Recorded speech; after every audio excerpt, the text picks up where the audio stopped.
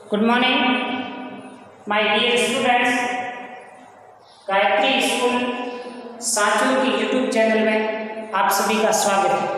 इस चैनल को ज़्यादा से ज़्यादा like share comment and subscribe कर लें, ताकि आपको इलेवेंथ इन एग्रीकल्चर साइंस ग्यारहवीं कृषि विज्ञान से संबंधित वीडियो आपको मिल सके।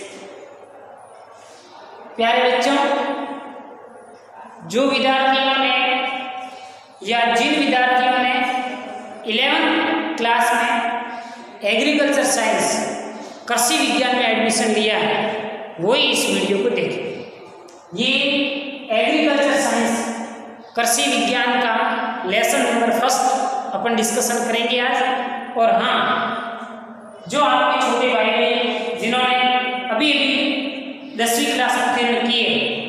और कोई भी सब्जेक्ट चूज़ करना चाहता है biology mathematics arts agriculture science तो सांचौर का एकमात्र ऐसा संस्थान है जहाँ पर केवल और केवल एग्रीकल्चर साइंस संचालित हो रही है।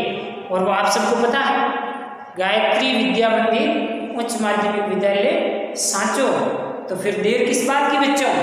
आज ही अपना रजिस्ट्रेशन करवा करके अपनी सीट बुक करवाए और दूसरी बात, जिन बालिकाओं की दसवीं क्लास में साठ प्रतिशत फ़र्स्ट डिवीज़न या सात प्रतिशत से ऊपर कितने भी है तो उन बच्चियों को, उन बालिकाओं को या उन छात्राओं को पाँच हज़ार रुपये की प्रोत्साहन राशि छात्रों के रूप में आईसीएआर भारतीय कृषि मंत्रालय के द्वारा दी जाती है।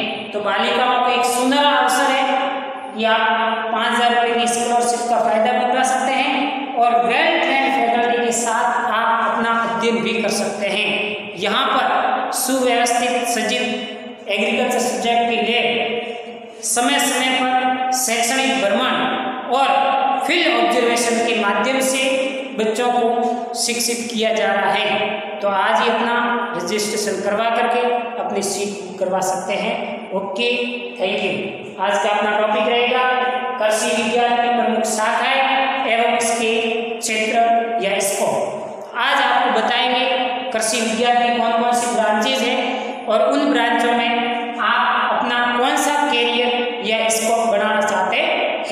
आइए स्टार्ट करते हैं सबसे पहली ब्रांच है एग्रोनॉमी एग्रोनॉमी दो शब्दों से मिलकर बना है एग्रोज प्लस नॉमस एग्रोज प्लस नॉमस एग्रोज का मतलब है कृषि या मृदा कृषि या मृदा और नॉमस का मतलब है मैनेजमेंट या प्रबंधन से एग्रोनॉमी दो शब्दों से मिलकर बना है। एग्रोज प्लस नॉमस एग्रोज का मतलब होता है मृदा और नॉमस का मतलब होता है मैनेजमेंट या प्रबंधन।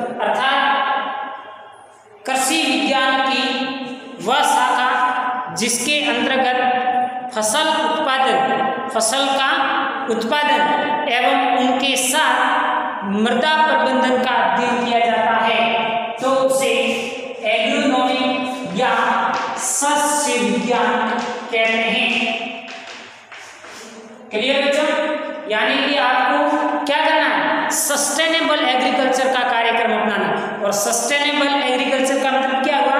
कि हमें लंबे समय तक अपने खेत में कृषि कार्य भी करना है, कृषि क्रम भी करना है, और साथ साथ में ये भी ध्यान रखना है कि हमारी मृदा अनउर्वरक नहीं हो। लंबे समय तक ऐसे की ऐसी बनी रहे ताकि ताकि हम लोग टिकाऊ खेती अपना सकते हैं। तो आपको मृदा का प्रबंधन भी करना है और ज़्यादा से ज़्यादा फ़सल का उत्पादन भी लेना है। तो ऐसा तरीका या ये कार्यक्रम आपको सिखाया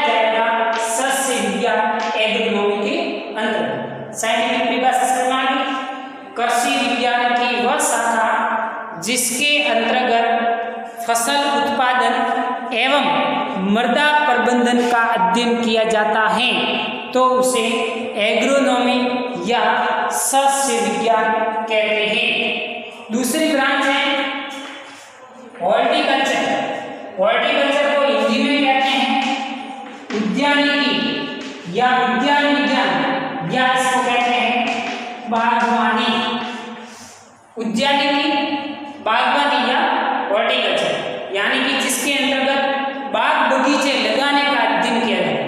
कृषि विज्ञान की वह शाखा जिसके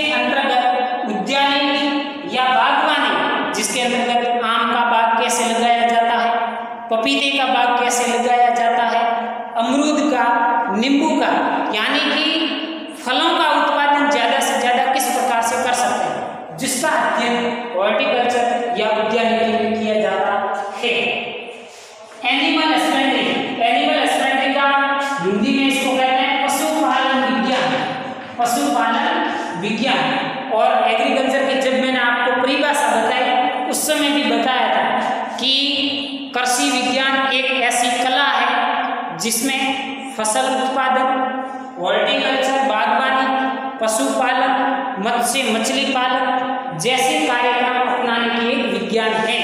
तो वैज्ञानिक तरीके से पशुओं का पालन करने का अध्ययन जिसके अंतर्गत किया जाता है, उसे पशुपालन विज्ञान या एनिमल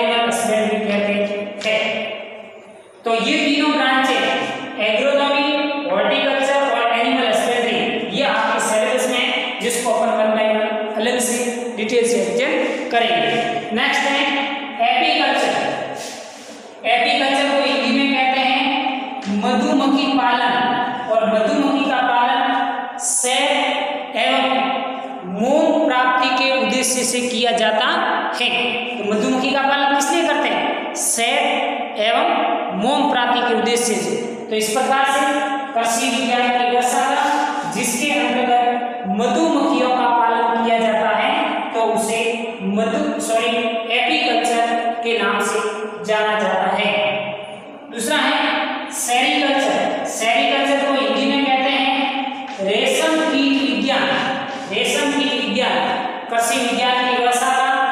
जिसके अंतर्गत रेशम कीट के पालन का अध्ययन किया जाता है, उसे सेरिकल्चर या रेशम कीट विज्ञान कहते हैं।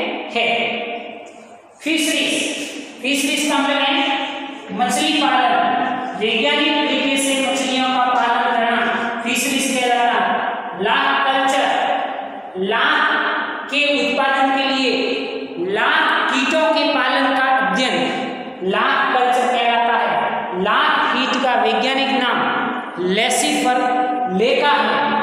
रेशम कीट का वैज्ञानिक नाम बॉम्बिक्स मोराई है और मधुमक्खी का वैज्ञानिक नाम चार प्रकार की मधुमक्खियाँ पाई जाती है। एपिस मेलिफेरा, एपिस डोरसेटा और एपिस इंडिका और एपिस फ्लोरिया जैसी प्रजातियों मधुमक्खी पालन के रूप में पाला जाता है। फॉरेस्ट्री फॉरेस्ट्री का मतलब होता है वन उत्पादन से संबंधित अध्ययन।